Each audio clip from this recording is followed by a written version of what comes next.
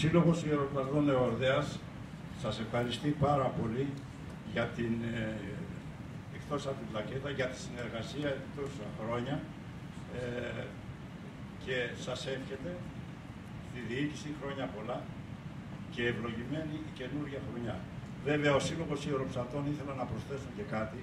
Ε, ο σκοπός, κάτι σαν μικρό ιστορικό, ο σκοπός του Συλλόγου Ιεροψατών είναι να ε, έρχονται παιδιά, παροτρινόμενα αυτά τα παιδιά από τους δασκάλους και τους καθηγητάς και τους γονείς, να μαθαίνουν τη βυζαντινή υμνολογία γιατί είναι ό,τι ωραιότερο μπορεί να συμβεί. Και αυτά γίνονται εντελώς δωρεάν στο Επισκοπείο, στην αίθουσα του Συλλόγου.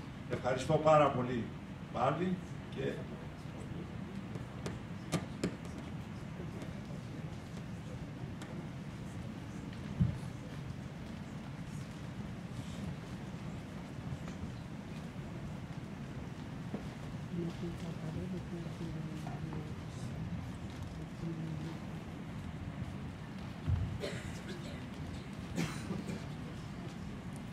Ο Χρυσόστομος Ταμούλη γεννήθηκε στην Άφητο Χαλκιδικής. Είναι καθηγητής της δογματικής και συμβολικής θεολογίας στο τμήμα θεολογίας του ΑΠΙ Σπούδασε στα Πανεπιστήμια της Θεσσαλονίκης, του Βελιγραδίου και του Ντάραμ της Αγγλίας. Διδάσκει το υποχρεωτικό μάθημα Δογματική και Συμβολική Θεολογία και κατά επιλογή υποχρεωτικά μαθήματα και κατά επιλογή υποχρεωτικά μαθήματα. Τα έργα του είναι φιλόκαλη αισθητική τη Ορθοδοξία, θεολογία και κινηματογράφο, σύγχρονη αθεία, επιστήμη και ορθόδοξη θεολογία. Έχει διδάξει ως επισκέπτης καθηγητής και έχει δώσει διαλέξεις στην, στην Ευρώπη. Κυριότερα έργα του είναι Τι γυρεύει Αλεπού στο Παζάρι, κείμενα για το διάλογο της Ορθοδοξίας με την πόλη, την πολιτική και τον πολιτισμό, εκδόσεις Αρμός 2016, Έρωτας και σεξουαλικότητα, αφήγηση διεπιστημονική από την αρχαιότητα στο σήμερα, από τους μικροοργανισμούς στον, στον άνθρωπο, εκδόσεις Αρμός, Αθήνα 2014, καθώς και πολλά άλλα. Τη διετία 2011-2013 υπήρξε πρόεδρος του Τμήματος Θεολογίας του ΑΠΙΘΙΤΑ, θέση στην οποία επαναξελέγει για τη διετία 2013-2015. Έκανε μουσικές σπουδές ε, φλάουτο ανώτερα θεωρητικά στο Μακεδονικό και στο Κρατικό Οδείο Θεσσαλονίκης και έχει εκδώσει πέντε ψηφιακούς δίσκους με δικές του μουσικές και τραγούδια.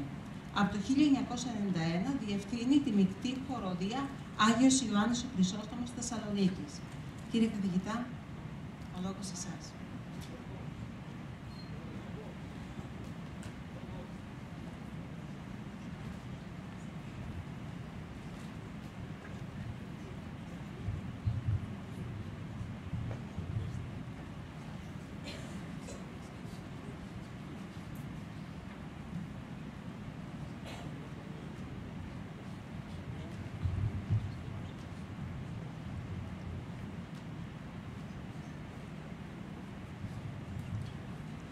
Σεβαστοί πατέρες, κυρίες και κύριοι των αρχών, με μεγάλη χαρά για την υποψηνή μας συνάντηση. Ευχαριστώ από καρδιάς τον Σύλλογο Εκπαιδευτικών, την Πρόεδρο Πρωτοβάθμιας Εκπαίδευσης Εορδέας, για αυτή την τιμητική πρόσκληση να είμαι ανάμεσά σας. Ευχαριστώ βεβαίως εξαιρέτως τον πατέρα Χρήστο, ο οποίος με πολλή επιμονή και υπομονή ε, επικοινώνησα μαζί μου προκειμένου να κάνουμε τη σημερινή μας συνάντηση. Είναι η δεύτερη φορά που έρχομαι σε αυτή την αίθουσα. Η προηγούμενη φορά την οποία ήρθα με τη χοροδία μας στο Γιάννη του Χρυστόμου ήρθα ως μαέστρος.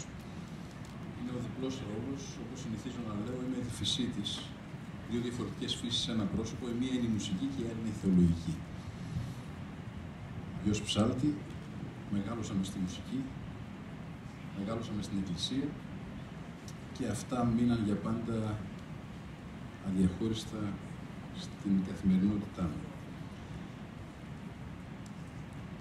Παρότι βρισκόμαστε στην καρδιά του χειμώνους, όπως θα έλεγε ο σκητικός της λογοτεχνίας Αλέξανδρος Παπαδιαμάντης, περί ανοίξεως ο λόγος σήμερα. Μιας ανοίξεως την οποία, όπως λέγει ο λαός και μαζί το εμνοδός της Εκκλησίας, δεν φέρνει μοναχό ένα χελιδόν. Τρία ειδόνια όμως μπορούν να φέρουν την άνοιξη των ψυχών, μπορούν να αποτελέσουν την άνοιξη των ψυχών. Μια άνοιξη η οποία έρχεται να σπάσει την εσωστρέφεια σώματος κλειστού και ως εκ τούτου αδύναμου να δει και να πει τα μυστήρια του Θεού, να πει το θαύμα. Έαρ λοιπόν, χελιδόν ου καθίστη μία. Ετρίσα ειδώνες των ψυχών έαρ. Και νομίζω ότι είναι σαφές πως τα τρία ειδόνια είναι ετοιμόμενοι τόσο από την Εκκλησία όσο και από την εκπαιδευτική κοινότητα, Άγιοι της Εκκλησίας, ο Γρηγόριος ο Θεολόγος, ο Βασίλειος ο Μέγας και ο Ιωάννης ο Χρυσόστομος.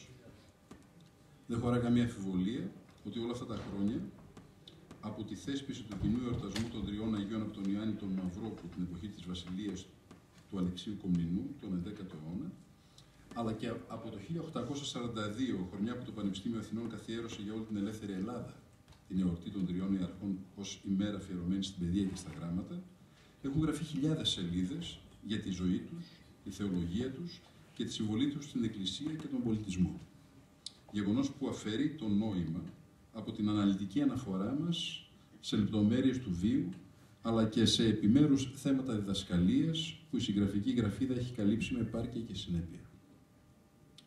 Με δεδομένη μια τέτοια πραγματικότητα, η ομιλία μου αυτή θα επικεντρωθεί στη μεθοδολογία συνάντησης με το άλλο, την ετερότητα, που οι τρεις Άγιοι εισηγούνται. Μια μεθοδολογία με νόημα, η οποία μπορεί να αναδείξει το σημαντικό της αναλογικής σχέσης παρελθόντος και παρόντος. Ή αλλιώς να δείξει το δρόμο του πράτην μιας εκκλησίας, αλλά και μιας εκπαιδευτικής κοινότητας που καταφάσκει στο θέλει. Διότι καθώς γνωρίζουμε πολύ καλά, η μεγάλη αμαρτία είναι το μη θέλει η άρνηση της κίνησης και της αλλαγής, που αποτελούν τις μοναδικές συνθήκες που κρατούν ένα σώμα σε εγρήγορση. Τις μοναδικές συνθήκες που κρατούν ένα σώμα ζωντανό. Μάλιστα τούτη η κατάφαση στην αναλογία θα λέγαμε πως αποτελεί και μια επιταγή που προβάλλεται από τις σημειότητες που παρουσιάζει η εποχή των τριών ιεραρχών Αγίων με τη δικιά μας εποχή. Και το λόγο τούτο διότι η ανάδειξη του έθνους κράτους στους ενδιάμεσους χρόνους και άλλων πολιτιακών σχημάτων, δημιούργησε κοινωνικοπολιτικές συνθήκες πολύ διαφορετικές από αυτές που εισηγείται και αναδεικνύει το φαινόμενο της πολυπολιτισμικότητας. Βέβαια, η πολυπολιτισμικότητα είναι ένας γενικός όρος, ο οποίος είναι δεκτικός πολλών ερμηνεών, όπως άλλωστε και όλοι οι όροι. Εν τούτης είναι σαφές ότι ο 4ο και ο 5ο αιώνας στην Ανατολή, όπου ζουν και δρούν οι τρεις ιεράρχες, έχει αρκετά κοινά χαρακτηριστικά με τον 20ο και κυρίως 21ο αιώνα σε Ευρώπη και Αμερική, όπου κυριαρχούν συνθήκες ανομοιογένειας κατά κανόνα θρησκευτικής και εθνικής. Γεγονός που κάνει επιτακτική τη συζήτηση για το διάλογο και ουσιαστικά τη συμπόρευση με την ετερότητα, μια συζήτηση που φαίνεται προς τους ενδιάμεσους χρόνους και κάτω από καταστάσεις γενικής ομοιογένειας, παράδειγμα Ελλάδος έως και τις αρχές της δεκαετίας του 80, εμφανιζόταν κενή νοήματος ή κενή περιεχομένου. Οι εργαζόμενοι Άγιοι ζουν σε μια εποχή που η ιστορία φέρνει σε συνάντηση τρία μεγάλα και οικουμενικά θρησκευτικά μεγέθη. Τον Ελληνισμό, τον Ιουδαϊσμό και τον Χριστιανισμό. Μια εποχή σκληρή, με έντονες αντιπαραθέσεις, συγκρούσεις και εντάσεις που απειλούσαν με διάλυση τον κοινωνικό ιστό της αυτοκρατορίας. Και εδώ ακριβώς βρίσκεται η συμβολή τους. Διότι κινούμενοι στις ράγες της χριστιανικής οντολογίας, που σε πολλές περιπτώσεις υποχωρεί κάτω από θρησκευτικές ιδεολογίες και φονταμεταλισμού, κατάφεραν να δημιουργήσουν δια της αποδοχής και της πρόσληψης και εξάπαντος μέσα από την κατάφαση στη σημαντικότητα της παιδείας, συνθήκες σεβασμού και καταλλαγής. Βέβαια, μια τέτοια προσπάθεια θα πρέπει να εξεταστεί στο πλαίσιο της συνάφειάς της. Και το λέω αυτό διότι στόχος μου δεν είναι η ακραία, η άκρητη ιεροποίηση ωρεοποίηση και ηρωοποίηση του εγχειρήματός τους, αλλά η ανάδειξη μιας διάθεσης. Η ανάδειξη δηλαδή του ξεπεράσματος όλων όσων διαιρούν τα σώματα. Μια τέτοια διαδικασία εξάπατος δεν αγνοεί ούτε υποβαθμίζει τις διαφορές και η ταυτόχρονη αποκάλυψη στοιχείων ενότητας που επεκτείνει το μαζί αυτών των σωμάτων. Με τον τρόπο αυτό, τα διαφορετικά μεγέθη, θρησκευτικά, πολιτισμικά, πολιτικά, παραμένουν εντός του κοινού πολυ, πολυ, πολιτικοκοινωνικού και οπωσδήποτε πολιτιστικού ιστορικού χώρου, με όλα εκείνα τα στοιχεία που αναδεικνύουν την νόμιμη αλλά και θεμητή για τη φυσιολογία μιας κοινωνίας ετερότητά τους. Εάν τώρα θα ήθελα να ονομάσω τούτη τη μεθοδολογία των φωτεινών Αγίων της Εκκλησίας, θα λέγω ότι πρόκειται για μια μεθοδολογία της προσλήψεως. Στα αλήθεια πρόκειται για το μυστήριο της προσλήψεως, το οποίο εδράζεται στον πολιτισμό της σάρκωσης, που γνωρίζει και αναδεικνύει τη σημαντικότητα του τέλους της βεβαιότητας. Μεθοδολογία αναγκαία, όχι απλά και μόνο για τη συγκρότηση του εκκλησιαστικού εαυτού, αλλά και για την πρόοδο των επιστημών, των προσώπων και των κοινωνιών. Μια διαδικασία η οποία φέρνει στο κέντρο της δημόσιας ζωής τη ρυθμιστική αρχή της αναθεώρησης και της αλλαγής, την ανάγκη της επέκτασης και της συγχώρησης. Βέβαια κινδυνεύει κανείς σήμερα, κάτω από την παραφύση πίεση των άγριων φανατισμών και ιδεολογιών, γιατί όχι και φονταμεταλισμών, που καλύπτουν τη γη της Ορθοδοξίας, να κατηγορηθεί για κενοποίηση της εκκλησιαστικής ζωής και άρνηση της ζώσας εμπειρίας. Έχω την αίσθηση όμως ότι μια τέτοια μορφή αγνοεί πλήρως την πραγματική παράδοση της Εκκλησίας που αναγνωρίζει στο πρόσωπο του Χριστού το σημεοφόρο ενός τρόπου που αντλεί ή καλύτερα εδράζεται στην παράδοξη κράση και στην κενή μίξη. Όπως αναγνωρίζει άλλωστε και στι ενέργειες Αγίας Τριάδος τον τρόπο ενέργειας εκείνου του εκκλησιαστικού σώματος που διεκδικεί το κατοικόνο και καθομοίωση του δημιουργού Θεού.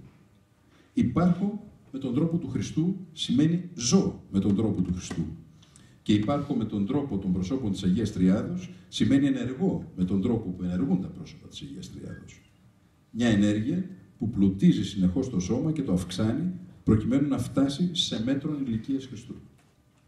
Και είναι σαφές πως μια τέτοια μεθοδολογία τρόπου ύπαρξης και τρόπου δράσης δεν μπορεί να είναι φοβική απέναντι στο σύνολο του κόσμου και της ζωής. Ο χριστιανός, κατά Βασίλειο, μοιάζει με τη Μέλισσα, η οποία επισκέπτεται όλα τα λουλούδια αλλά όχι όλα με τον ίδιο τρόπο και λαμβάνει από αυτά και μόνο τα ωφέλιμα. Δηλαδή εκείνα τα υλικά που θα τη επιτρέψουν να φτιάξει το μέλι της. Θα τη επιτρέψουν να καρπίσει. Σε μια προσπάθεια αναλογικής λειτουργίας και παραγωγής θεολογίας, ως έκφρασης τρόπου, μπορεί να στηριχθεί κανείς στη χρήση των πιο διαφορετικών πηγών της κουλτούρας. Δηλαδή σε ένα δυναμικό άνοιγμα, σε μια συμβολή που επιζητά την πολυφωνία και την πολυρυθμία ενός κόσμου τόσο ενικού όσο και πληθυντικού. Μέθοδος υψηλού ρίσκου, που χρησιμοποιείται στον χώρο της φιλοσοφικής πρωτοπορίας και αποτελεί ανάλογο της πατερικής μεθοδολογίας του Μεγάλου Βασιλείου, για παράδειγμα, που μόλις προαναφέραμε.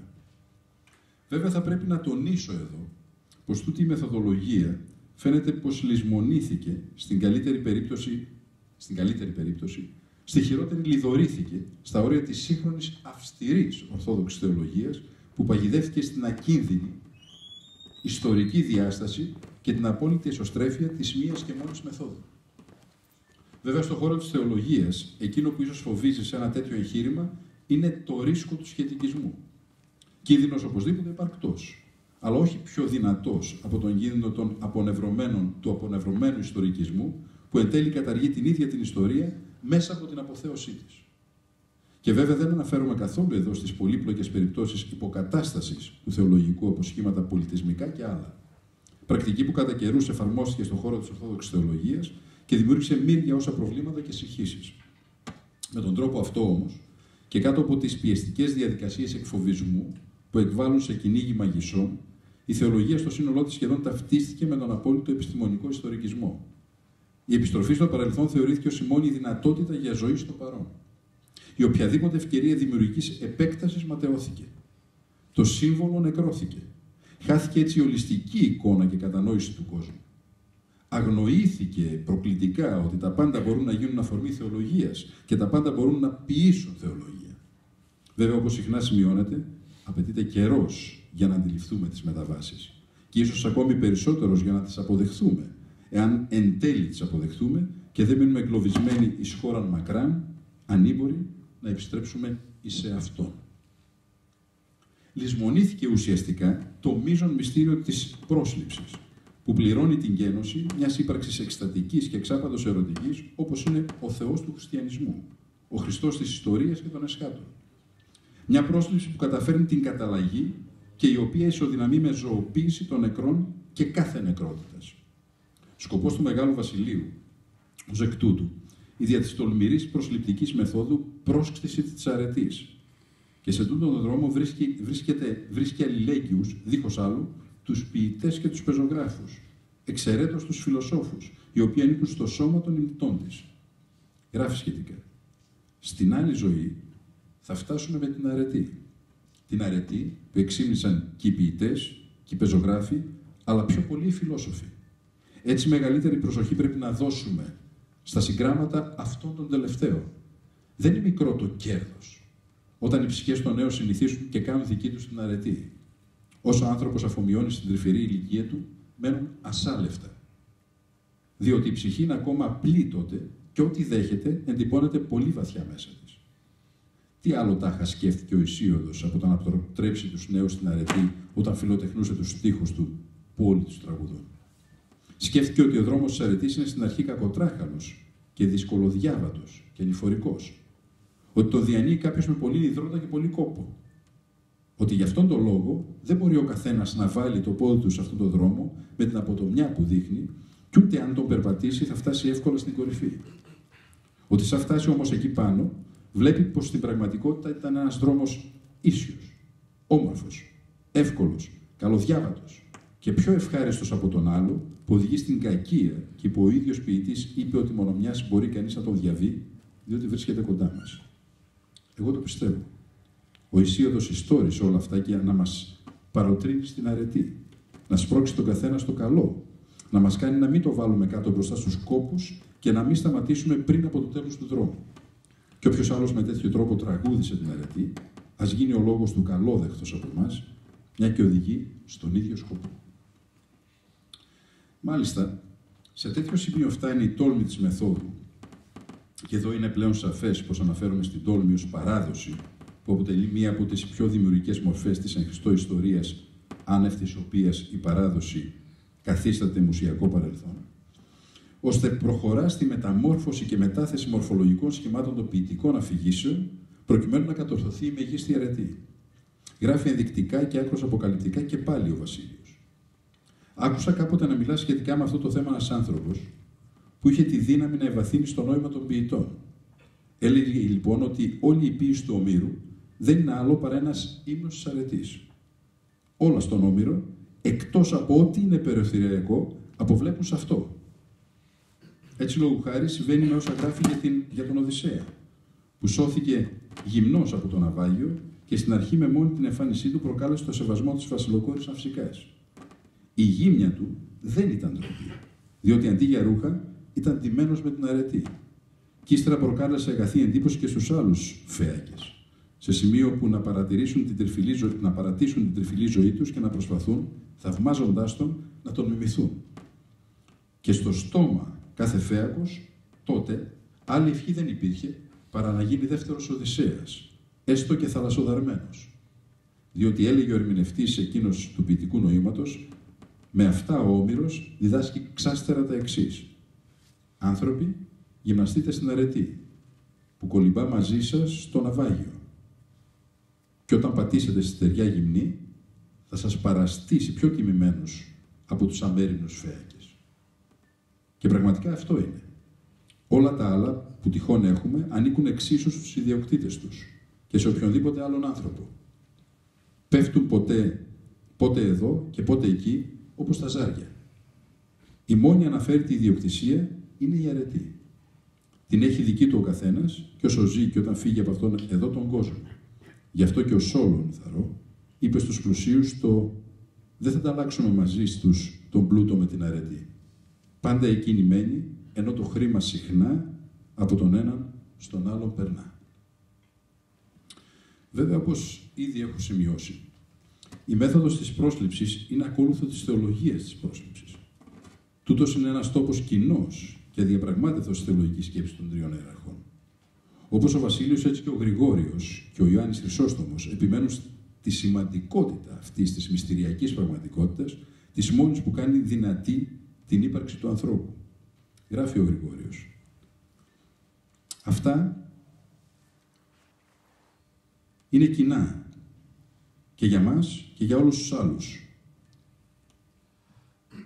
Κυρίως τα δικά μας, αλλά και αυτά τα οποία προσλαμβάνει ο άνθρωπος.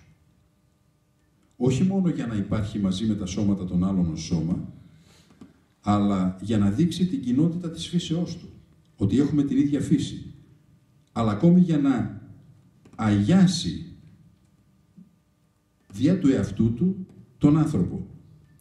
Σαν να γίνει ο ίδιος, σαν να γίνεται η ζύμη η οποία ζυμώνει τα πράγματα, τη ζωή και το ψωμί. Το παράδειγμα αυτής της προσλήψεως κατά τον Γρηγόριο είναι ο, ο ίδιος ο Χριστός, ο οποίος εγκαταλείπει σε εισαγωγικά τη θεότητά του, βγαίνει από την τριαδική βεβαιότητα και νούται προκειμένου να προσλάβει αυτό που ο ίδιος δεν είναι. Την απόλυτη ετερότητα που είναι το κτίσμα. Ένας Θεός δηλαδή αδειάζει τον εαυτό του από τη θεότητά του παραμένοντας Θεός και αυτό είναι το παράδοξο της χριστιανικής θεολογίας προκειμένου να χωρέσει στον εαυτό του αυτό που δεν είναι. Να προσλάβει δηλαδή αυτό που δεν είναι. Όχι να προσλάβει το όμοιό του. Να προσλάβει το εντελώς ανώμοιό του. Η μεγάλη αμαρτία της σύγχρονου πολιτισμού και της σύγχρονης εκκλησίας είναι η διάθεση πρόσληψης, στην καλύτερη περίπτωση, των ομοίων μας, των αντιγράφων μας και η άρνηση πρόσληψης αυτού που δεν είμαστε. Τώρα θα μου πείτε, ποια είναι η σχέση αυτή της πρακτικής με την πρακτική του Χριστού, ή να το πω αλλιώς με την πρακτική του δευτέρου προσώπου της Αγίας Τριάδος, συνεπώ του Τριαδικού Θεού. Καμία. Συχνά πριν να μας ρωτούν σήμερα τι θα κάνουμε απέναντι στην ετερότητα, στο διαφορετικό; Πρόκειται για φίλο, πρόκειται για έθνος, πρόκειται για ποδοσφαιρική αθλητική ομάδα. Βλέπουμε αυτές τις μέρες συμβαίνει στον τόπο μας. Πρόκειται για μια διαφορετική πολιτιστική κουλτούρα, η πολιτισμική κουλτούρα. Πρόκειται για ετερότητα στο σύνολό της. Όλοι θεωρούμε ως κεκτημένο το γεγονός της δικιάς μας ύπαρξης ως ταυτότητας, που δικαιωματικά μπορεί να αρνείται την κάθε ετερότητα. Ξέρετε, ο σύγχρονος πολιτισμός ποια λέξη χρησιμοποιεί για να εκφράσει αυτή την πραγματικότητα, ανεκτικότητα. Ανεχόμαστε, λέει, τις ετερότητες. Τι σημαίνει αν έχουμε την ετερότητα; Είμαι σίγουρος ότι εγώ αποτελώ μια ταυτότητα, δεν τον πολεμώ, τον αφήνω να υπάρχει σαν εμένα, αλλά δεν είναι ο εαυτός μου, πάντα εγώ με κάτι περισσότερο από αυτόν. Τον ανέχομαι. Θα μου πείτε, είναι λίγο πράγμα η ανεκτικότητα. Όχι. Διότι σήμερα δεν έχουμε καταφέρει ούτε την ανεκτικότητα. Αλλά κοιτάξτε, το Ευαγγέλιο προχωράει πέρα από την ανεκτικότητα και ανατρέπει στο σύνολό του τον πολιτισμό, το δυναμητίζει, τον φωτίζει με μία προοπτική με μια προοπτική που δεν κατανοούμε ούτε εμείς θεολόγοι, ούτε η ίδια η Εκκλησία, αγαπητοί μαθητές. Διότι δεν μιλάει για ανεκτικότητα, αλλά μιλάει για πρόσληψη της εντερότητα. Παίρνω αυτό που δεν είμαι και το κάνω εγώ. Όπως έλεγε ο μεγάλος λογοτέχνης της Θεσσαλονίκης Νίκος Γαβρίλ Πετζίκης, ο εαυτός μου είναι όλοι οι άλλοι. Το εγώ μου είναι όλοι οι άλλοι. Δηλαδή η συγκρότηση του δικού μου εαυτού πραγματοποιείται με την ενότητα των πάντων, όλων των ετεροτήτων. Είναι σαν την πρωτοτυπία. Δεν υπάρχει πρωτοτυπία στον πολιτισμό, δεν έχει καμία πρωτοτυπία. Στα αλήθεια δεν υπάρχει. Παρθενογένεση δεν γίνεται τίποτα. Αλλά τι σημαίνει πρωτοτυπία, να είσαι όλοι οι άλλοι μαζί και ταυτόχρονα εαυτός. Ε, και να ξαναδημιουργείς. Άρα λοιπόν, κοιτάξτε, το Ευαγγέλιο προχωράει πέρα από την ανοιχτικότητα στην πρόσληψη και εμείς σήμερα σκεφτόμαστε τι θα πρέπει να κάνουμε απέναντι στο μετανάστη, στον πρόσφυγα και στον ξένο, για παράδειγμα. Υπάρχουν δύο επίπεδα ανάγνωσης, τα οποία συγκούνται τιμόμενοι Άγιοι. Το ένα επίπεδο είναι το εκκλησιολογικό και το άλλο είναι το πολιτικό. Το εκκλησιολογικό λέει ότι ο κάθε ξένος είναι Χριστός. Ο κάθε ξένος. Όποιος χτυπάει την πόρτα είναι Χριστός. Τέλος. Αν θέλουμε να είμαστε χριστιανοί. Σε πολιτικό επίπεδο θα πρέπει οι πολιτικοί μας άρχοντες να προφυλάσσουν την αξιοπρέπεια των ανθρώπων αυτού του τόπου, αλλά και την αξιοπρέπεια των ανθρώπων οι οποίοι έρχονται σε αυτό το τόπο. Το είναι θέμα πολιτικής πράξης.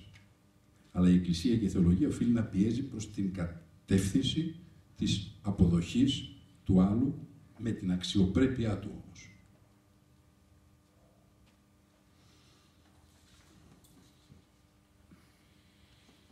Και έρχομαι τώρα στον Άγιο Έντο Χρυσόστομο. Σας είπα ουσιαστικά τι λέει το κείμενο του Γρηγορίου γιατί είναι στο πρωτότυπο, για να μην σας ταλαιπωρήσω. Και να κλείσω με αυτό το Γρηγόριο πριν πάω στο Χρυσόστομο. Λέγει ότι η Χριστιανική Εκκλησία είναι ένα έθνος μεταναστών. Προσέξτε τι λέει. Και δίνει και συνέχεια στο λόγο του. Λέει, για πέστε μου, λέει. Ποιος από τους ανθρώπους, άνδρες, γυναίκες της εκκλησιαστικής μας ιστορία δεν, ιστορίας δεν ήταν μετανάστε. Πατριάρχες, προφήτες, ο ίδιος ο Χριστός. Έθνος μεταναστών η Εκκλησία. Τι έχει να πει ο φονταμενταλιστικός λόγος της Εκκλησίας για αυτή την άποψη του Γρηγορίου του Θεολόγου; Εκτός αν θέλουμε έναν άλλο χριστιανισμό. Κοπής και ραφής δικής μας. Ερήμη του Χριστού.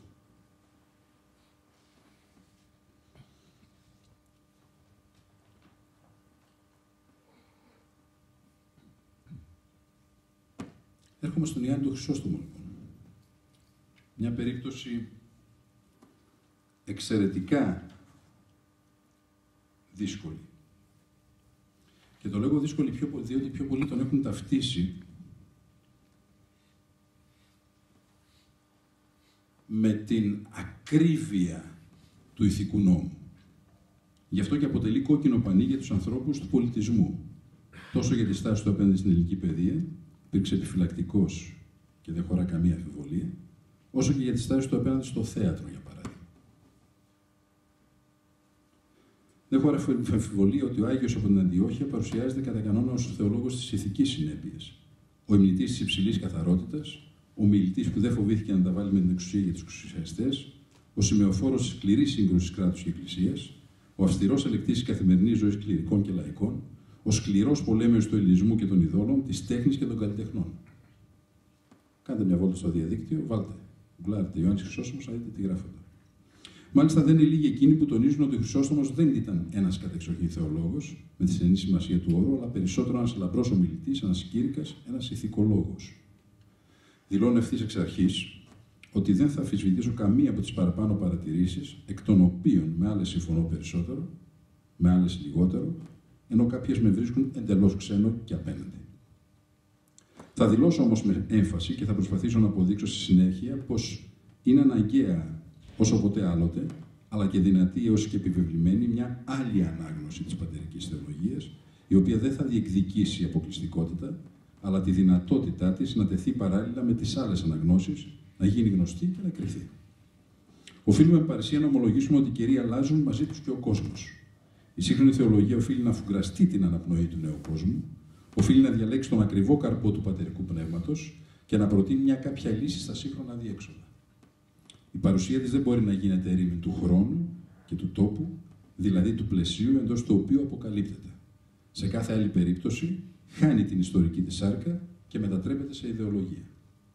Έτσι λοιπόν, εάν η ιστορία της θεολογίας έχει τονίσει την τραχύτητα του ύφους και την αυστηρότητα του χαρακτήρα για τη θεολογία του Ιερού Χρυσοστόμου, η σύγχρονη έρευνα οφείλει να αναδείξει και τις άλλες πλευρές της θεολογίας και της σύνολης παρουσίας του και να νοηματοδοτήσει με αυτές τη ζωή, αλλά και το σύγχρονο τρόπο του θεολογίου. Σύμφωνα λοιπόν με τον μεγάλο Ρώσο θεολόγο της Διασποράς, τον πατέρα Γεώργιο Φιλορόφσκι, ο Ιάννη Χρυσόστομος είναι ο προφήτης της οικουμενικής αγάπης. Με άλλα λόγια, θα έλεγα πως ο Άγιος από την Αντιόχεια είναι ο μετά Χριστόν προφήτης του ίδιου του Χριστού, του σαρκωμένου λόγου που ταυτίζεται με την οικουμενική αγάπη. Η οικουμενική αγάπη για τον Χρυσόστομο είναι ένα πρόσωπο. Δεν είναι μια ανεξάρτητη ηθική διδασκαλία. Ένα πρόσωπο που αποκαλύπτει έναν τρόπο υπάρξεως. Ο Θεός για να σώσει τον κόσμο, για να σώσει τον άνθρωπο, δεν τον χάρισε. Δεν του χάρισε ένα σύστημα αξιών. Δεν του χάρισε κανόνες και νόμους. Δεν του χάρισε σύστημα ηθικής, ούτε και αρετολογίας, αλλά του χαρίστηκε ο ίδιος. Τούτο είναι το υπέρ της οικουμένης πάσης μυστήριο της κενώσεως, με ε, τους αδειάσματο για το οποίο μιλούσα πριν, που σφραγίστηκε με το αίμα του Χριστού που έγινε κοινός καθαρμός απάσης της οικουμένης.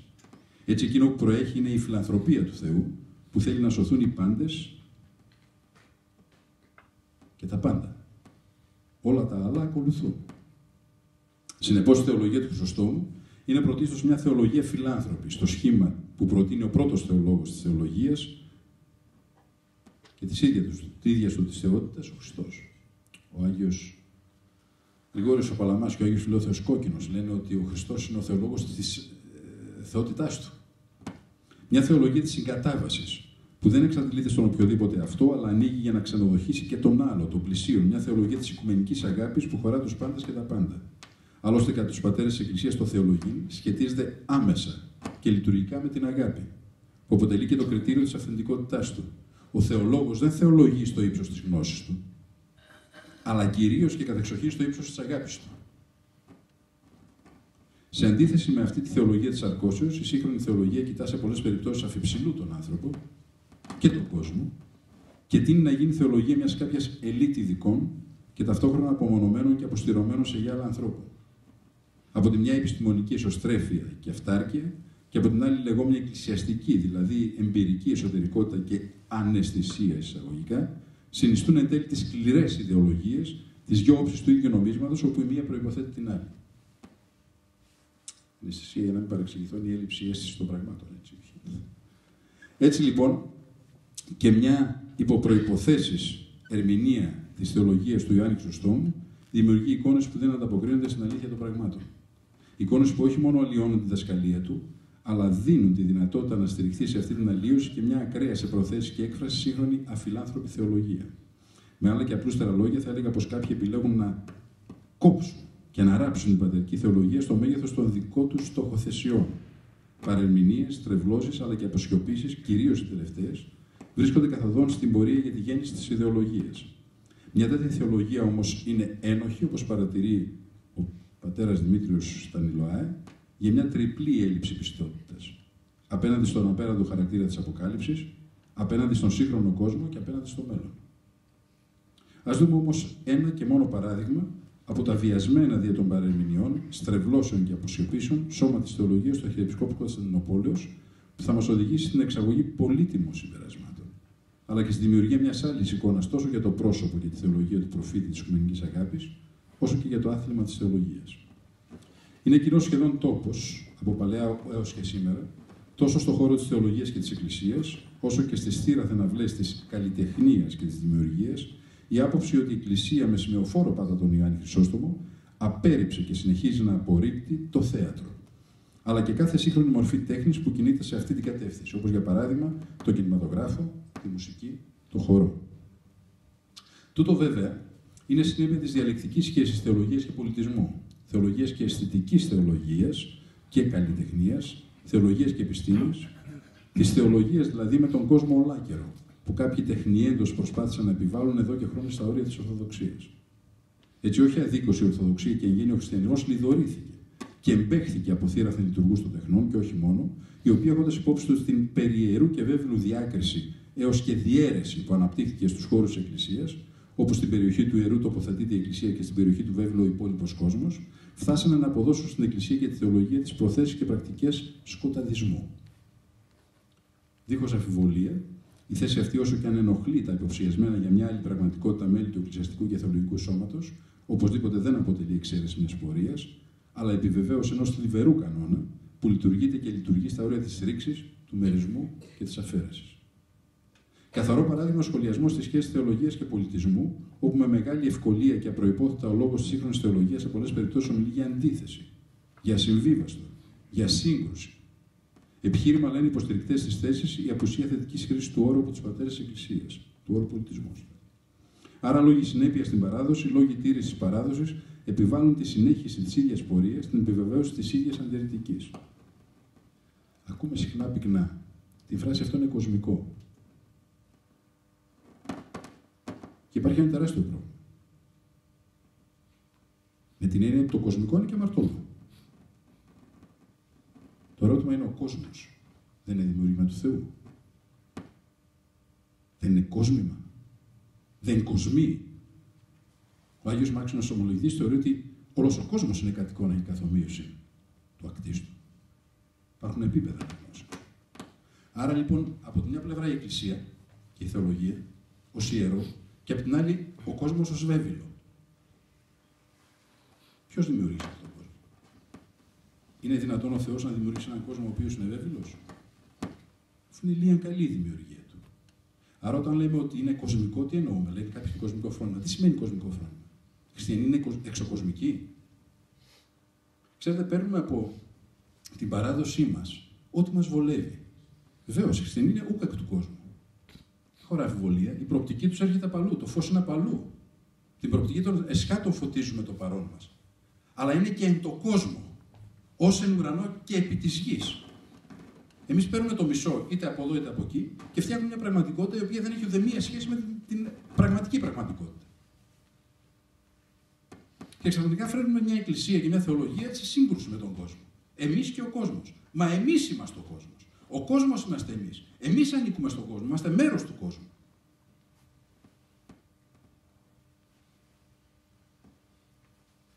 Και έτσι επιτείνουμε αυτή τη διαίρεση ιερού και βέβαιου, αυτή την ένταση ιερού και βέβαιου. Θα πάμε λέει σε μια κοσμική συναυλία. Τι θα πει κοσμική συναυλία; Η Βυζαντινή μουσική δεν είναι κοσμική, τι είναι απόκοσμη είναι. Δεν φτιάχτηκε μέσα από κανόνες, μέσα από νόρμες. Υψηλής τεχνικής η Βυζαντινή μουσική. Η αρχιτεκτονική της Εκκλησίας. Δεν είναι κοσμική, τι είναι; Τι είναι; Τι δεν έχει εκκλησιαστικό χαρακτήρα; Υπάρχει κάτι στον κόσμο που δεν έχει εκκλησιαστικό χαρακτήρα; Όλος ο κόσμος διακονεί τη σχέση. Εκτός αν θέλουμε να κατανοήσουμε μια εκκλησία στο περιθώριο της κοινωνίας. Αποκομμένη από την πραγματικότητα της ζωής. Και αυτή η αποκομμένη από την πραγματικότητα της ζωής στο τέλος είναι μια κλειστή γυάλα, χωρίς αέρα και φως, όπου τα πάντα μαραίνονται.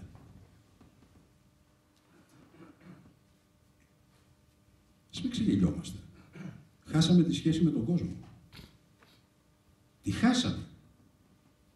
Ζούμε στην αυτάρκειά μας την εσωτερική και αυτή την αυτάρκεια την εσωτερική την ονομάζουμε κόσμος. Είναι ο δικός μας κόσμος.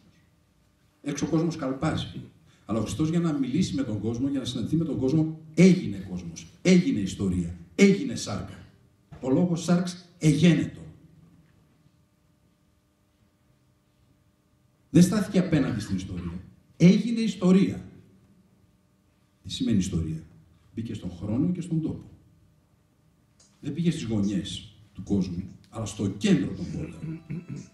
Διαλέχθηκε, πάλεψε με αυτό που η σύγχρονη του εποχή και η θεσμική εκκλησία της εποχής του δεν μπορούσε να φανταστεί ότι η εκκλησία θα μπορούσε να διαλεχθεί. Με τους πέρνες, τους τελώνες, τους φαρισαίους, προσλαμβάνοντας κάθε ετερότητα. Πάρα πολλοί, ξέρετε, ζητούν θαύματα. Έτσι. Ζητούμε εγγυημένη προφητεία. Κάνουμε θαύμα για να μου πεις ποιος είσαι. Και τότε εγώ θα σε πιστέψω. Μέγα ευρωεξεταστή, ε. Δοστογεύσκη. Λυσμονώντα πως για να φτάσουμε στο θαύμα, πρέπει πρώτα να περάσουμε το διάλογο μας με τον ληστή, την πόρνη και τον τελώνη. Δεν πατάει κανείς πάνω στα κύματα χωρίς τον διάλογο με την εσχατιά του κόσμου. Με τους ταλαιπωρημένους του κόσμου. Με τους διαλυμένους του κόσμου. Ο Χριστός δεν ήρθε για τους σωσμένους. Αλλιώς θα έφτιαχνε κλαμπ, δεν θα έφτιαχνε εκκλησία. Γι' αυτό η εκκλησία στην πατερική σκέψη ονομάζεται πανδοχείων. Ξέρετε τι σημαίνει πανδοχείων. Αυτό που, αυτή που δέχεται τα πάντα. Όταν μπαίνουμε στην εκκλησία βλέπουμε απέναντί μας την πλατητέρα, δεν βλέπουμε τη στενότερα. Που χωράει τα πάντα. Χώρεσε έναν Θεό. Και ρωτούσαν οι Ιουδαίοι της εποχής, μπορεί λέει ένας μια γυναίκα να γεννήσει έναν Θεό; Και απαντά ο Άγιος Πρόκλος Κωνσταντινούπολος. Όχι, λέει, μια γυναίκα δεν μπορεί να γεννήσει έναν Θεό. Αλλά ένας Θεός μπορεί να γεννηθεί από μια γυναίκα. Ας αφήσουμε στην Εκκλησία να κάνει το θαύμα.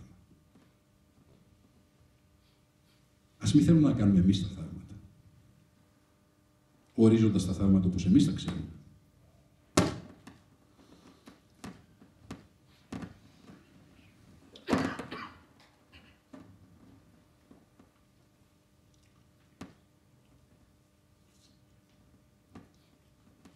Άρα, συνέπειες, λόγοι συνέπειας στην παράδοση, επανέρχομαι στο Χρυσόστομο. Λόγοι τήρησης παράδοσης βάλουν τη συνέχιση της ίδιας πορείας στην επιβεβαίωση της ίδιας αντιρρητική. Φαίνεται να στηρίζεται κατεξοχήν αυτή η σύγκρουση σε ποσοτικές και συνάμαντι επικέ αναλύσεις που δεν φτάνουν στον πυρήνα της πατερικής θεολογίας και να αγνοεί θελημένα αθέλητα τη διάσταση της ποιοτικής ανάλυσης. Αναφέρομαι στο κείμενο του Χρυσόστομου, έτσι. Μιας ανάλυσης που έχει σαν στόχο της να σπάσει το τσόφλι και να φτάσει στον κρυμμένο καρπό. Σε κάθε άλλη περίπτωση το τσόφλι θα μείνει άθικτο αλλά ο καρπός εν τέλει θα σαπίσει. Έχω την αίσθηση ότι η κατανόηση των θέσεων του Χρυσοστόμου για το θέατρο και τον πολιτισμό έχουν ανάγκη από μια νέα ερμηνευτική διάθεση και δυνατότητα. Μια διάθεση που θα αναζητά πίσω από τα γεγονότα του ποιμαντικού, τον ποιμαντικό σκοπό και μια δυνατότητα που θα ανακαλύπτει πίσω από το προφανές το πραγματικό. Και εξηγούμε. Είναι αλήθεια ότι ο Χρυσόστομος χτυπά το θέατρο και μάλιστα ανηλαιώς. Ανηλαιώς το χτυπάει.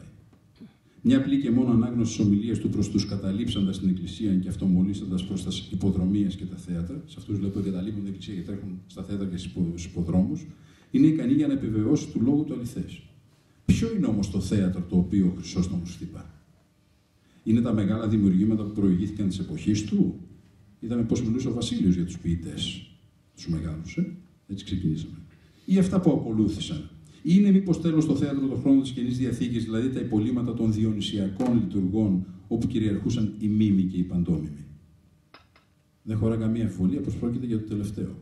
Ένα θέατρο δηλαδή παρακμιακό, λάγνο, ικανό όμως μέσα στην αδυναμία του να ανάψει στην ψυχή του ανθρώπου το καμίνι του άτοπου έρωτα και να αποσπάσει τον πιστό από το εκκλησιαστικό σώμα.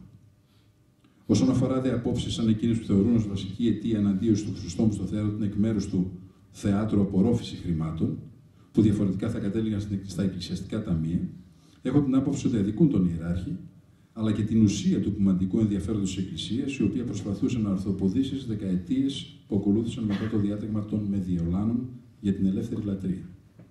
Συνεπώς, είναι ξεκάθαρο ότι ο Χρυσόστομος και η γέννη Εκκλησία δεν στρέφονται εναντίον του θεάτρου ως τρόπο έκφρασης ανθρώπινης δημιουργικότητας, αλλά στυλιτεύουν την εκτροπή και την αλωτρίωση και κάθε τέχνης.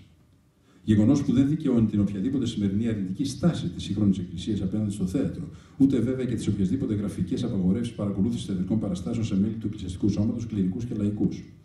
Πολύ δε περισσότερο δεν δικαιώνει τις αρνητικές στάσεις απέναντι στην παιδεία, η οποία σύμφωνα με τον Αντιοχιανό Άγιο και πέρα από επιφυλάξει και επιμέρους ενστάσεις, θεωρείται ως μετάληψη αγιότητος. Και τούτο δεν είναι λίγο. Συγκεκριμένα ο Χρυσόστομος, όταν αναφέρεται στο θέατρο, όλοι παίρνουν τη μία πλευρά της πατρολόγιας Λέγα, είναι ένα κόρπος, ένα σώμα μεγάλο κειμένο, όπου έχει, είναι σε στήλες δομημένο. Η μία στήλη λέγει ο Χρυσόστομος ότι δεν θα πρέπει να πηγαίνουμε στο θέατρο κτλ. κτλ να εγκαταλείψουμε το θέατρο και αυτά. Και μένουν όλοι εκεί. Δεν πάνε στην παράλληλη στήλη. Η οποία μιλάει για την εγκατάλειψη του θεάτρου την εύκαιρη. Διότι λέει, έχουμε μία πραγματικότητα η οποία στερεί τη δυνατότητα από τα μέλη του σώματος να κοινωνήσουν με το πρόσωπο της σχέσης. Τα ίδια ο Χρυσόστομος, για παράδειγμα, λέγει και λειτουργεί το μυστήριο της προσλήψεως για τη σχέση του πόρνου με το πλεονέκτη. Πολλοί σήμερα στέφονται εδώ στι εκκλησίες εναντίον της πορνείας. Μεγάλο θέμα τι είναι πορνεία κατά Χρυσόστομο. Αλλά δεν μπαίνω σε αυτό τώρα. Αλλά αγνοούν να στραφούν, αρνούνται να στραφούν εναντίον της πλεονεξίας. Όταν ο Άγιος Ιωάννης ο Χρυσόστομος βάζει σε σειρά μεγέθους τα αμαρτήματα, βάζει πρώτο την πλεονεξία και μετά ακολουθεί η πορνεία. Διότι η πορνεία είναι τέτοια που είναι ως πλεονεξία. Και δίνει το παράδειγμα ότι η πόρνη μέσω της πόλης λέει δίνει το σώμα της, ενώ πλέον δίνει και την ψυχή.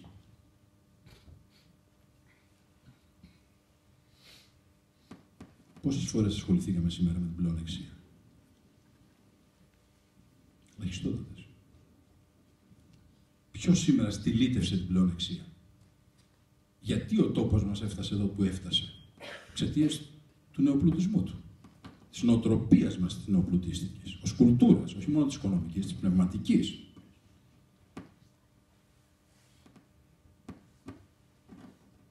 Εκεί είναι η μεγάλη έκπτωση. Τα ίδια ο Χρυσόστομος για το γέλιο. Λένε πάρα πολύ ότι ο Χρυσόστομος αρνείται, λέει, το γέλιο από τα μέλη της εκκλησιαστικής κοινότητας. Δεν αρνείται το γέλιο.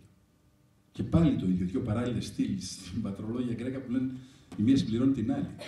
Λέει ότι δεν θα πρέπει να γελάμε, βεβαίως, αλλά πότε; Τον καιρό της λατρείας, της ίδια ευχαριστίας. Διότι λέει, έχουμε μπροστά μας ένα σταυρωμένο και σε επιτρέψουμε λέει, σε αυτή την κοινωνία, σε αυτούς τους ανθρώπους, Και ας επιτρέψουν να υπάρχει ένας χώρος, μια φάτνικη για αυτόν τον εσταυρωμένο. Πώς μπορείς, λέει, την ώρα της λατρείας, που είναι μια μίμηση και μια μνήμη του πάθους και της αναστάσεως, εσύ να γελάς. Και συνεχίζει παρακάτω. Όταν θα βρεθούμε όμως με φίλους και θα έχουμε να πιούμε κάτι, τότε και θα γελάμε και θα χαιρόμαστε κτλ. Εύκαιρος.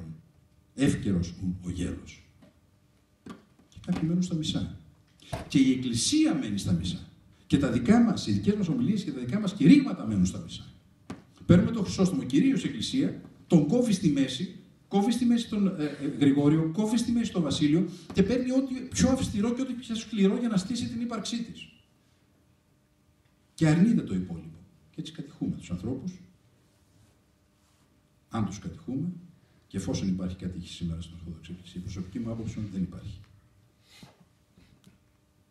Κατήχησε κορίθιε εκπαίδευση και ταυτόχρονα, επειδή έχουμε συναδέλφους εδώ, να πω και το εξής. Από μια πλευρά κατηγορούνται οι θεολόγοι της εκπαίδευσης ω άθεοι, και από την άλλη επιμένει η Εκκλησία να κατηχούν αυτοί οι άθεοι θεολόγοι της εκπαίδευσης τους νέους ανθρώπους. Κάπου υπάρχει ένα ιστορικό λάθος. Είναι άθεοι, άρα δεν ζουν με την εκπαίδευση ως κατήχηση, ή μπορούν να το κάνουν και το ζητούμε. Η άποψη βεβαίως είναι ότι η Εκκλησία κάνει κατήχηση. Η Εκκλησία κάνει κατήχηση. Αλλά επειδή εγκατέλειψε η Εκκλησία την κατήχηση, ξέρετε τι είναι η κατήχηση; Δεν είναι τραγούδια. Εγώ είμαι μουσικός. Και ως μουσικός εργάζομαι ακόμα εντός της Εκκλησίας. Από τότε που θυμάμαι τον εαυτό μου. Αλλά δεν είναι αυτό κατήχηση. Είναι και αυτό. Αν πάμε στις κατηχήσεις του Αγίου Κυρίου Ιερουσαλήμου και παλαιότερα, θα δούμε κατήχηση είναι περί τριάδο λόγος, περί Χριστού λόγος. Αν ρωτήσω σήμερα, πόσοι από εσάς ξέρετε τι σημαίνει το όνομα Χριστός, δεν ξέρω πώς θα απαντήσω.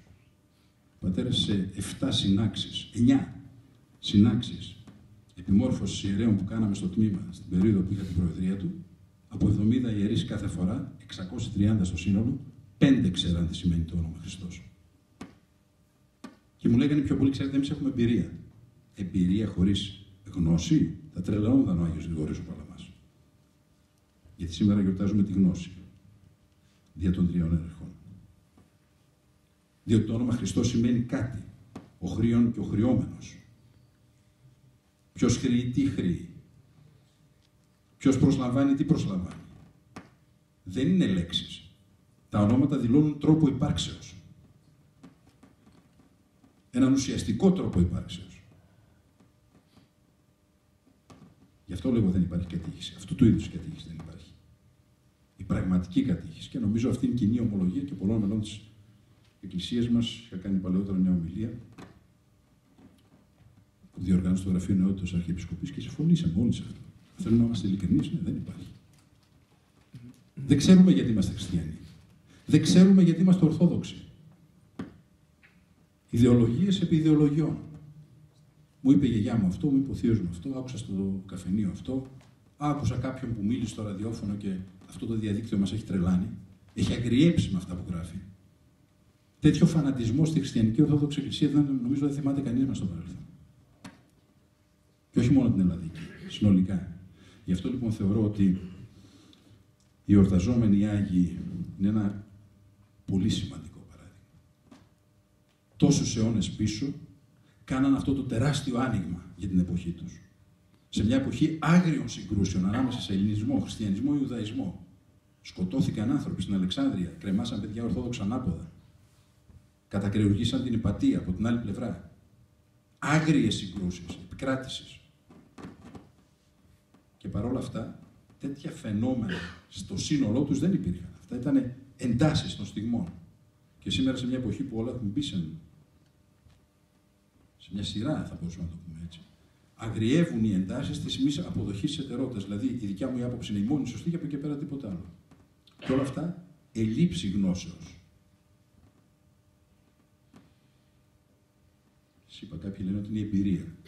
Και λέει ο Ισγόρο ο Παλαμάς και η γνώση εμπειρία. Η γνώση δεν είναι έξω από την εμπειρία. Όταν φτιάχνουμε και συγκροτούμε τον εαυτό του νέου μαθητή, δεν μπορεί να τη συγκροτεί μόνο σε μια εξωτερική εμπειρία η λήψης γνώσεως, ούτε βεβαίως μόνο στη γνώση η λήψης της εμπειρίας της σχέσης. Είναι το συναφότερο που διαμορφώνει την ύπαρξη. Ο τρόπος μου, αλλά και η γνώση των πραγμάτων. Και αυτό και εκείνο. Και έτσι δημιουργείται μια αρτιότητα υπάρξεως. Αγαπητοί μου, Θα μπορούσα βέβαια με μια τέτοια προσέγγιση να κατηγορηθώ για αιρεοποίηση της θεολογία των τριών ιεραρχών, δηλαδή ότι όλα ήταν καλά στο παρελθόν ή για μια ιεροποίηση του παρελθόντος. Για αγιοποίηση της πατερικής θεολογίας εν γέννη. Δηλώνω όμως αμέσως ότι σκοπός μου δεν είναι μια κάποιας μορφής παροχή αμνηστίας, την οποία άλλωστε κανείς δεν έχει ανάγκη.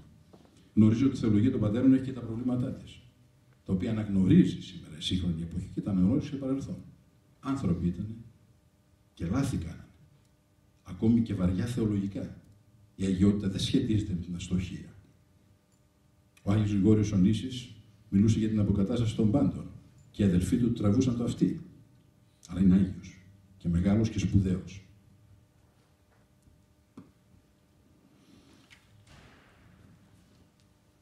Γνωρίζω ότι η θεολογία του πατέρων λοιπόν έχει και τα προβλήματά της. Εξάπατο δεν είναι αποτέλεσμα κατά γράμμα θεοπνευστίας. Δηλαδή καρπός μαγικής πράξης που αγνοεί το πρόσωπο που οικειώνεται την αποκάλυψη. Η δυτική θεολογία θεωρεί ότι το μέλος της Εκκλησίας, όταν βρίσκεται σε διαδικασία θεοπνευστίας, αυτή η θεοπνευστία είναι κατά γράμμα. Δηλαδή ο Θεός σου λέει και συγγράφει. Αλλά έτσι καταργείται η υπόσταση στο πρόσωπο. Δεν θα είχαμε τέσσερα Ευαγγέλια και άλλα τόσα, ένα θα είχαμε. Ποτέ δεν δέχτηκε η Ορθόδοξη Θεολογία και η Εκκλησία την καταγράμμα θεοπνευστία. Και επειδή ακριβώς δεν υπάρχει καταγράμμα θεοπνευστία, υπάρχει αστοχία του προσώπου εντός της ιστορίας. Όχι αστοχία ιδεολογική, επειδή θέλει να αστοχήσει, αλλά στην πάλι της ερμηνείας της Αποκαλύψεως. Που καλύπτεται ο Θεός ως άβρα λεπτή και πρέπει να, να το ερμηνεύσει αυτό και να το περιγράψει. Δεν είναι όλες οι περιγραφές εύστοχες. Ο Άγιος Γρηγόριος Νήσι και πάλι έλεγε μην παίρνετε όταν μιλούσε για το κατοικόνο και το καθομοίωση ως δόγμα αυτό που λέω, διότι είναι σκέψεις νόος, ασκήσεις νόος. Ο ίδιος το έλεγε. Και μην το κάνετε δόγμα. Και εμείς παίρνουμε αυτά που λέει ο Νήσης, συγκεκριμένη θεολογική ενότητα και το κάνουμε δόγμα. Ενώ ο ίδιος λέει μην το κάνετε, εγώ παλεύω να πω τι είναι. Αλλά ποιος έχει διαβάσει Γρηγόριο Νήσης; Ποιος έχει διαβάσει Μεγάλο Βασίλειο; Ποιος έχει διαβάσει Χρυσόστομο, μπορεί να λέμε διάφορα ηθικιστικά πράγματα, αλλά ποιος έχει ακουμπήσει τα κείμενά τους; Πόσοι από εμάς έχουμε διαβάσει το Ευαγγέλιο; Μια φορά έστω ένα πέρασμα, καινή διαθήκη και παλαιά. Αλλά θα δίνουμε μάχες για την καινή και την παλαιά χωρίς να ξέρουμε τι λένε. Μάχες. Και ακούμε άρρητα ρήματα και από εδώ και από εκεί. Και από τους εσωτερικούς μας φανατισμούς, αλλά και από τους εξωτερικούς φανατισμούς, τους αντιεκκλησιαστικούς, γιατί υπάρχουν και αυτοί και οι άγριοι. Είναι ισοδύναμα άγρια με τους εσωτερικούς φανατισμούς.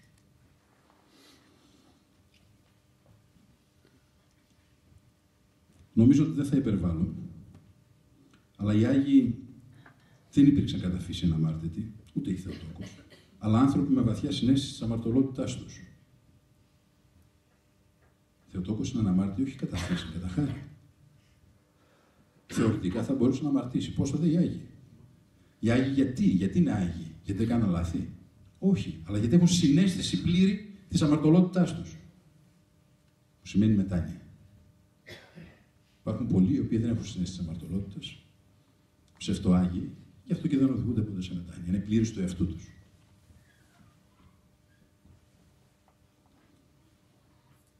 Ο Ιωσφόρο γιατί έπεσε; Διαβάζουμε αυτό είδωλο εγενόμην. Λάτρεψε και ρωτεύτηκε τον εαυτό του και είναι είδωλο του εαυτού του. Αυτή είναι η πτώση του εσφόρου. Δεν υπήρξε σχέση. Έρωτας ναρκισιστικός με τον εαυτό και τις ιδέες μου και τις σκέψεις μου. Δεν πάει να λέει ο άλλος οτιδήποτε, δεν θα ελέγξω τίποτα. Εγώ ξέρω αυτό, τέλος. Το ερωτεύομαι, το ερωποιώ και προσπαθώ να το επιβάλλω. Ακόμη και με φυσική εξόντωση σήμερα. Έτσι. Τζιχαντισμός, αλλά και εντάσεις εντός της δικιάς μας Εκκλησίας. Λοιπόν, στη ρογμή της Αγίας Ανεπάρκειας στηρίζεται η οικειότητα. Πώς μέγιστο χάρισμα ανοίγει το δρόμο της μετάνοια και της μεταστροφής. Επιτρέπει με άλλα λόγια την έξοδο από τη βεβαιότητα και την ασφάλεια μιας ζωής συμπαγούς και αδιαπέραστης. Από μια τέτοια αίσθηση ανεπάρκεια έχει ανάγκη και η σύγχρονη θεολογία, έτσι ώστε να κινηθεί από τον τύπο στο ζωβιό πνεύμα, από την αυταρέσκεια στη θυσία. Το ίδιο και η εκπαίδευσή μας. Το ίδιο και η παιδεία μας να προχωρήσει από την περιτομή και την ανεδίαστη αυτάρκεια στην πρόσληψη και από εκεί ως τη στερνή την τέλεια μεταμόρφωση, την τελική συγχώρηση με το Θεό, τον κόσμο, στο σύνολό του και τους ανθρώπους. Αν λοιπόν σήμερα τρεις ιεράρχες έχουν κάτι να προτείνουν στην σύγχρονη εκπαίδευση, τη δική μας εκπαίδευση, είναι πρώτον η αναθεώρηση. Που σημαίνει ότι πρέπει να αποδεχθούμε το τέλος της βεβαιότητας. Γνώση χωρίς αποδοχή του τέλους της βεβαιότητας δεν υπάρχει. Όσοι κινούνται στην απόλυτη βεβαιότητα έχουν κλείσει την πόρτα της γνώσεως. Αναθεώρηση λοιπόν. Και δεύτερον, θεολογία στο ύψος της αγάπης, αλλά και ο δάσκαλος θα πρέπει να διδάσκει στο ύψος της αγάπης του, όχι μόνο στο ύψος των γνώσεων του. Το ύψος λοιπόν των γνώσεων με το ύψος της αγάπης μπορεί να δώσει ένα πραγματικό αποτέλεσμα. Δυναμικό αποτέλεσμα. Σας ευχαριστώ.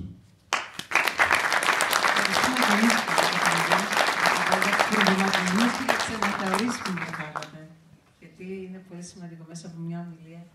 Πάντα ο μιλητή μας δίνει και ένα προβληματισμό και αναθεωρήσεις πολλές. Ε, θέλουμε να σας δώσουμε και εμείς μια τιμητική πλακέτα για την αποδοχή και να καλέσω τον πρόεδρο της ε, Δημοτικής Ενότητας, τον κύριο Νικολαίδη.